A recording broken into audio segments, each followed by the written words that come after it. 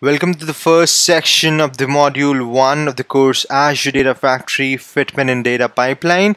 My name is Shantanu Das and I'm going to be the instructor of this course. Before getting on the hands-on session, we are going to get started with the fundamentals and lay out the foundation of Azure Data Factory is, what Azure Data Factory is, what are the components. Uh, we're going to take some analogy of orchestration uh, because Azure Data Factory is a hardcore uh, orchestration tool which we are going to use. So without further ado, let's get started. This is going to be the introduction to Azure Data Factory uh, wherein we are gonna get started with understanding what Azure Data Factory is. So it's an orchestration tool.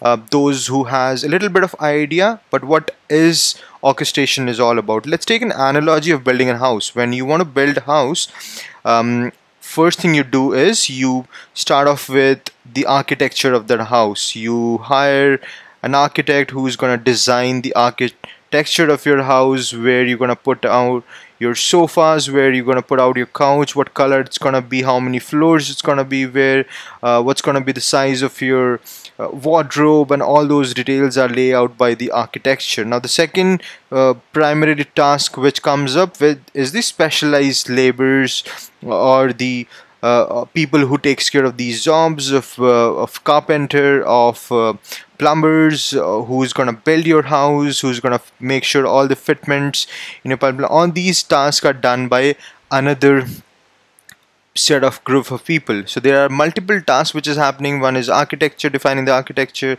There's electrician plumber. All of these are defined as individual tasks and they are governed by uh, obviously they need the raw material also but all of these happens on some sort of platform or land in analogy of building a house and combining all of these tasks together makes the orchestration of tasks which means there are multiple tasks or activities is just happening but you need some people or some type of application or set of users who, who could govern these tasks and that's where the orchestration comes in the picture that we have multiple number of tasks and activities and on top of those activities or tasks there should be somebody or some app who needs to govern those tasks who needs to make sure that, the tasks are delivered on time and whatever the expected inputs were given the tasks are built in that way. So that's orchestration of the task and that's the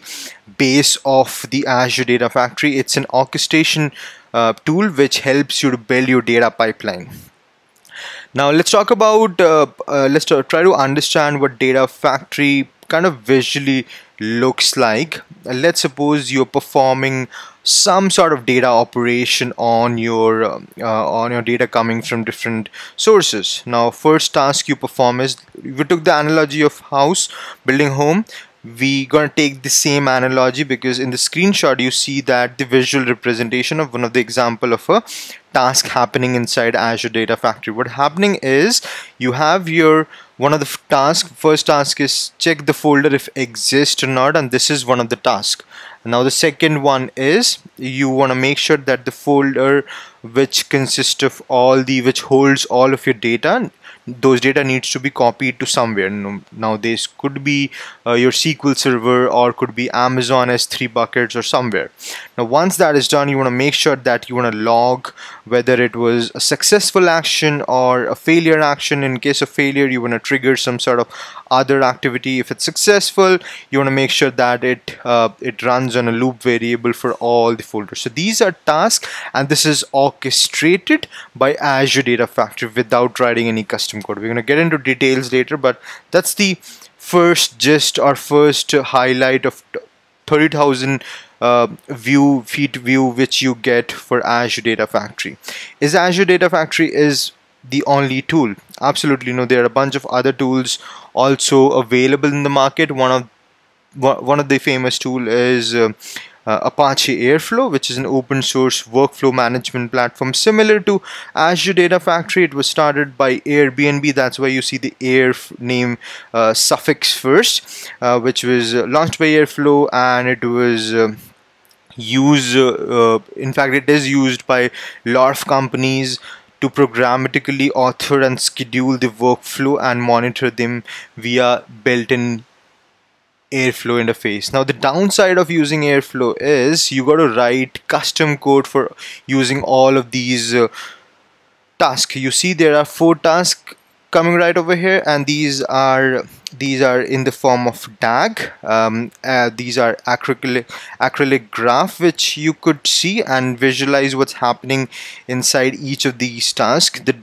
the the downside which I see for these DAGs are that you would need to write custom code for each of these tasks. However, in compared to Azure Data Factory, you don't need to write any custom code. All of these tasks are by default available on Azure Data Factory under the pipeline section and you could just drag and drop and use the canvas, open canvas to build your Azure Data Factory data pipeline. So that's the compare comparison when you want to compare two tools um, with each other Azure Data Factory and Airflow. Both of them does the same pretty much same kind of job. One of them is open source another the um, Azure Data Factory is a proprietorship tool from Azure uh, um, Microsoft Moving on to the next section, let's talk about if you're coming from the on-premises background, if you're working on SQL Server integration service, there are a bit of analogy, similar uh, similarity between both of these tools, SSIS and on the left-hand side, you've got Azure Data Factory. Um, so on the SSIS, uh, the packages, the the the task, uh, the the ones which is going to perform all of the tasks is going to be called as packages. However in Azure Data Factory it is called as pipeline. Um, you've got activities in Azure Data Factory which consist of copying of your files which we saw in the previous screenshot.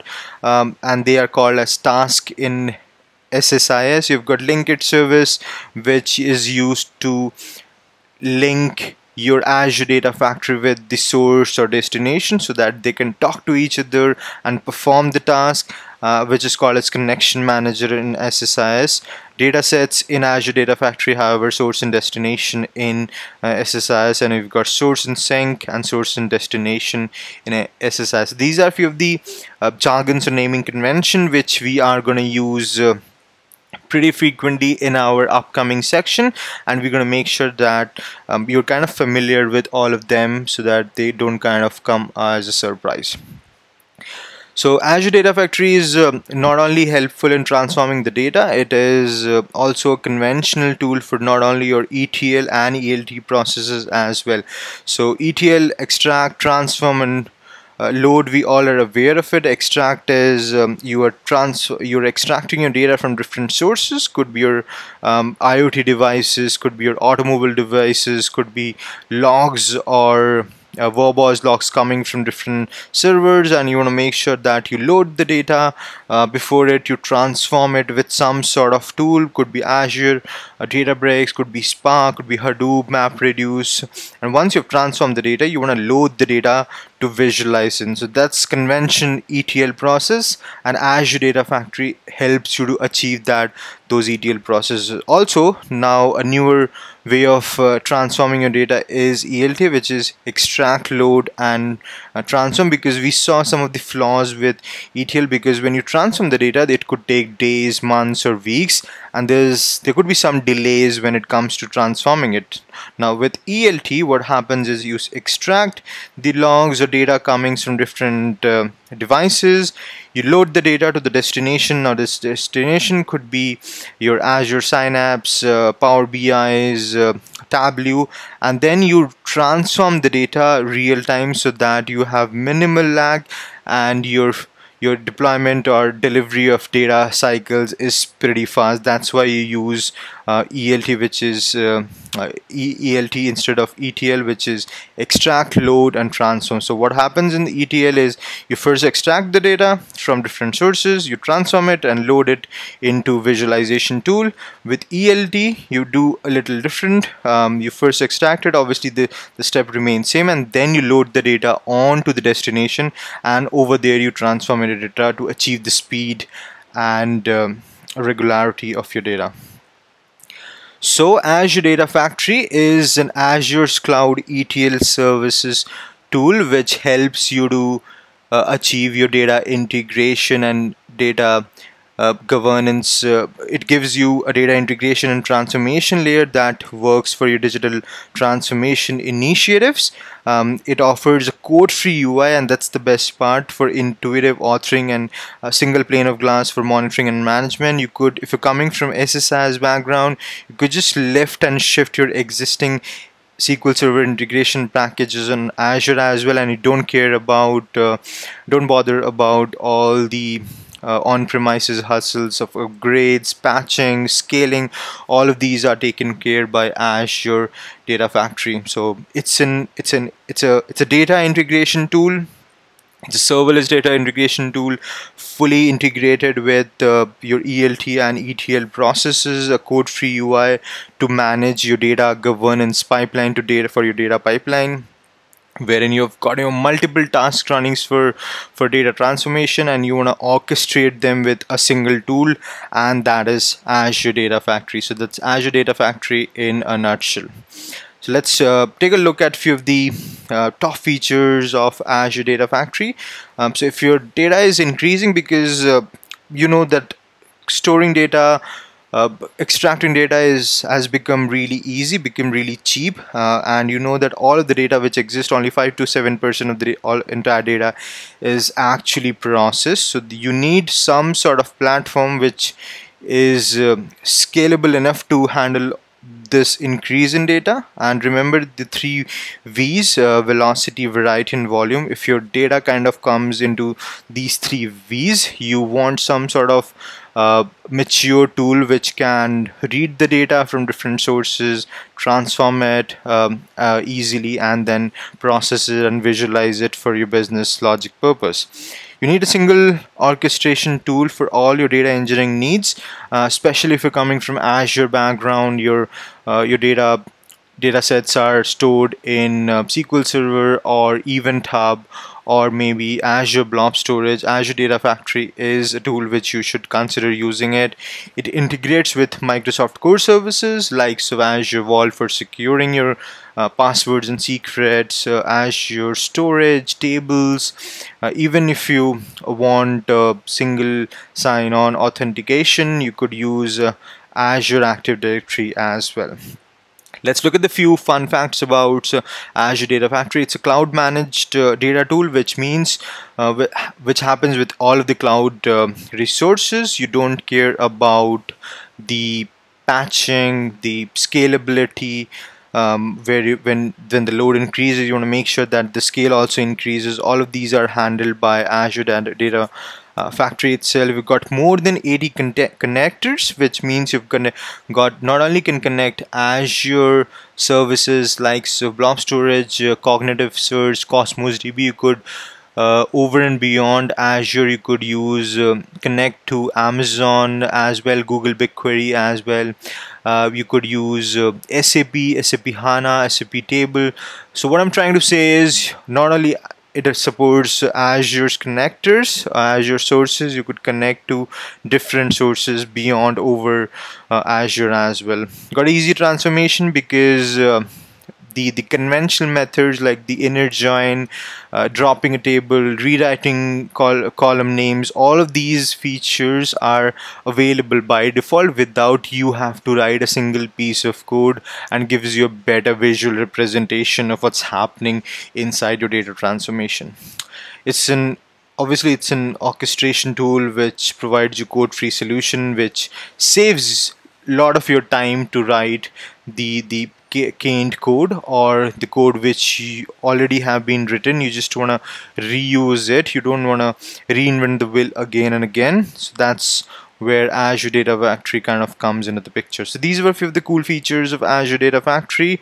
Um, and um, this was just a foundation uh, to get started with Azure Data Factory wherein we discussed about uh, what orchestration of task means, uh, what is EDLT and ETL process, um, we discussed about ADF uh, versus SQL Server integration service as well and we then got started with Azure Data Factory.